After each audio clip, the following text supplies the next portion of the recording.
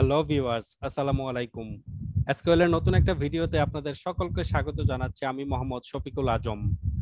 তো আজকে আমি যে বিষয়টা নিয়ে কথা বলব, সেটা হচ্ছে এসকিউএল খুব গুরুত্বপূর্ণ একটা ফিচার সেটা নাম হচ্ছে কেস তো কেসের মাধ্যমে আমরা কীভাবে এসকিউএল স্টেটমেন্টকে আরও সহজতর করতে পারি এবং কন্ডিশন অ্যাপ্লাই করতে পারি, সেই জিনিসটাই আসলে মূলত আজকে দেখাবো। তো চলুন, কথা না বাড়িয়ে আমরা শুরু করি। আমি একটা নতুন কোয়ারি নিয়ে নিচ্ছি ডাটাবেজ আমার এএম এখানে আমি একটা স্টেটমেন্ট লিখছি। প্রথম employee code amount from employee salary আর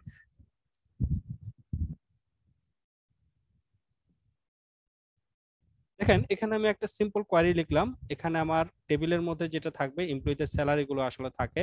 এই অ্যামাউন্টের মধ্যে অ্যামাউন্ট কলামের মধ্যে আসলে এমপ্লয়ীদের স্যালারিকেই দেখাচ্ছে। দেখেন প্রত্যেকটা এমপ্লয়ির স্যালারি এখানে শো করছে। তো বেসিক্যালি আমি এটার মধ্যেই কেসটাকে অ্যাপ্লাই করে সহজভাবে আপনাদেরকে দেখানোর চেষ্টা করছি। তো চলুন আমরা এখানে অ্যাপ্লাই করি। প্রথমে কেস কিওয়ার্ডটা লিখতে হবে। দেন হচ্ছে হোয়েন অ্যামাউন্ট বিটুইন এখানে অ্যাপ্লাই করব। যেহেতু আমি একটা রেঞ্জ অ্যাপ্লাই করতে চাচ্ছি, অর্থাৎ এক থেকে দশ হাজারের মধ্যে যদি কারও স্যালারি হয়, তখন আমি কি দেখাবো। ওয়ান অ্যান্ড টেন থাউজেন্ড এখানে দিলাম দেন একটি ওয়ার্ড অ্যাপ্লাই করব। তো যদি এক থেকে দশ হাজারের মধ্যে কারও স্যালারি হয়, তাহলে কি হবে? সেই জিনিসটা আমি এখানে একটু দিয়ে দিচ্ছি। এখানে কোনো একটা ইন্টেজার ভ্যালু হতে পারে। এখানে আমি যেহেতু এখানে একটা সিম্পল এক্সাম্পল দিচ্ছি, এখানে আমি একটা প্রিন্ট করে নিচ্ছি কোনো একটা স্ট্রিং ভ্যালু যেমন এন্ট্রি লেভেল এমপ্লয়ি এই লেখাটা আমি দেখতে চাচ্ছি। তো আপনাদের প্রয়োজন অনুসারে আপনাদের যেটা প্রয়োজন সেটা আপনারা এখানে অ্যাপ্লাই করে নিতে পারেন। তো এখানে আমি করলাম।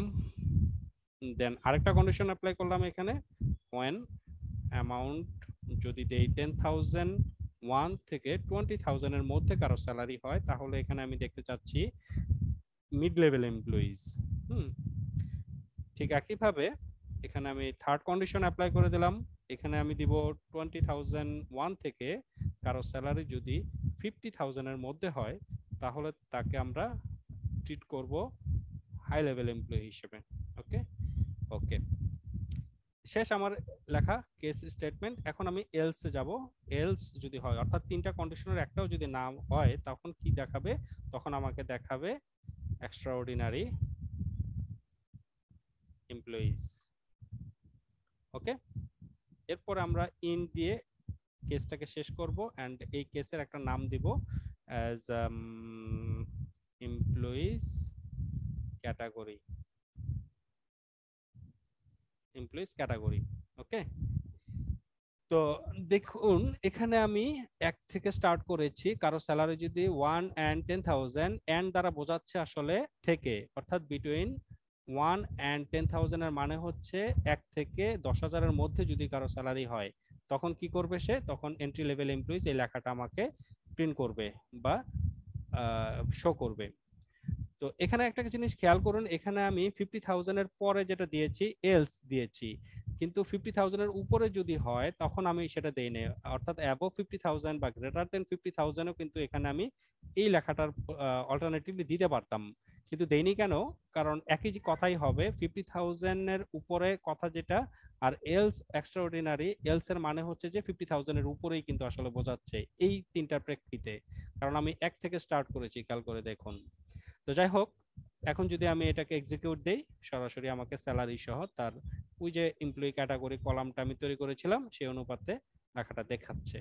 দেখেন, নয় হাজার চারশো টাকা স্যালারি এর জন্য এন্ট্রি লেভেল এমপ্লয়িজ আর একত্রিশ হাজার পাঁচশো, এটা হচ্ছে হাই লেভেল এমপ্লয়ি যেহেতু বিশ হাজার থেকে পঞ্চাশ হাজার পর্যন্ত আমি হাই লেভেলের একটা রেঞ্জে রেখেছি, তো এটা এখানে শো করছে।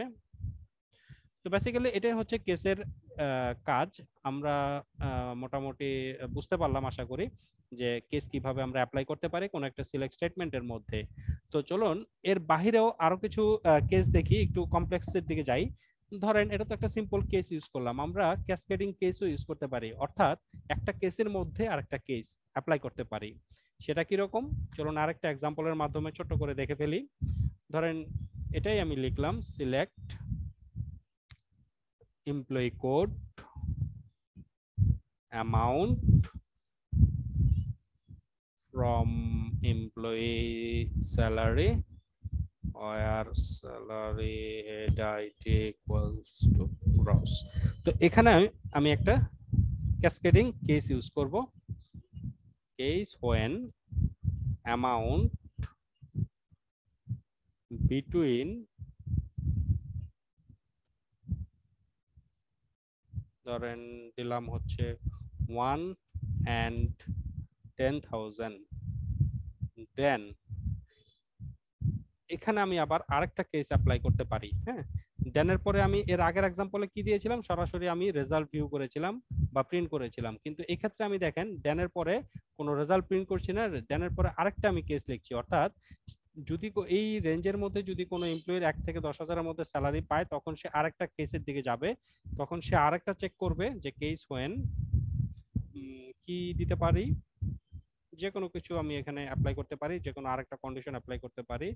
For example employee code employee code like use করলাম এখানে।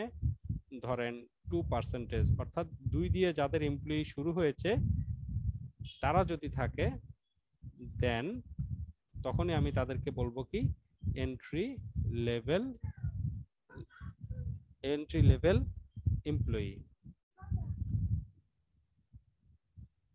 okay else হলে নাল দেখাবে, কোনো কিছু শো করবে না এন্ড এরপর আমার রেজাল্টটা শেষ।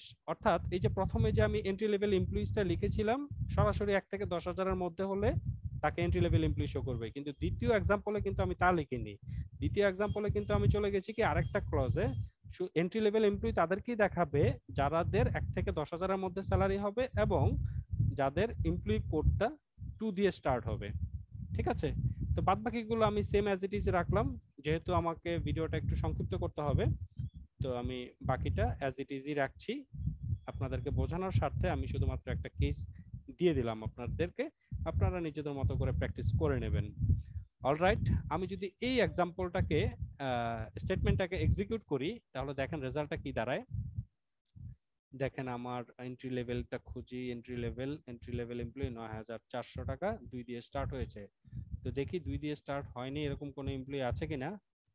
উম, সব দুই দিয়ে স্টার্ট হয়েছে। ওকে ওকে, এখানে আমি একটু চেঞ্জেস নিয়ে আসি, কারণ সবারই টু দিয়ে স্টার্ট হয়েছে, আমি থ্রি দিয়ে দেই। তাহলে দেখা যাবে অ্যাকচুয়ালি সিনারিওটা কি ঘটে। আচ্ছা এখানে দেখেন এই যে ব্ল্যাঙ্ক নাই। টু দিয়ে স্টার্ট হয়েছে, কিন্তু আমি এখানে অ্যাপ্লাই করেছি থ্রি দিয়ে যাদের স্টার্ট হবে, তাদের এন্ট্রি লেভেল এমপ্লয়ি শো করবে আদারওয়াইজ কোনো কিছুই শো করবে না। দেখেন, এখানে কিন্তু ব্ল্যাঙ্ক চলে আসছে। তো ওই প্রথম এক্সাম্পলটা থেকে দ্বিতীয় এক্সাম্পলটা একটু কমপ্লেক্স মনে হচ্ছে। কিন্তু আপনাদের আসলে রিয়েল টাইম এক্সাম্পলগুলো আসলে এরকমই হয়। আপনাদের কাজের সুবিধার জন্য আমি আপনাকে এটাও দেখিয়ে দিলাম যে ক্যাসকেডিং কেস কীভাবে ইউজ করা যায় বা একটার ভিতরে আরেকটা কেস কীভাবে অ্যাপ্লাই করা যায়। দেখেন, এটা কিন্তু অ্যাপ্লাই হয়েছে। তো আশা করি বুঝতে পেরেছেন। এভাবে আপনারা কেস অ্যাপ্লাই করতে চেষ্টা করবেন। কারও যদি কোনো কোশ্চেন থেকে থাকে, তাহলে আমাকে কমেন্ট বক্সে অবশ্যই জানাবেন। আমি আনসার দেওয়ার চেষ্টা করব। তো ভালো থাকবেন, সুস্থ থাকবেন। আর পরবর্তী ভিডিও দেখার আমন্ত্রণ জানিয়ে আজকের মতো এখানেই শেষ করছি। আল্লাহ হাফেজ। আসসালামু আলাইকুম।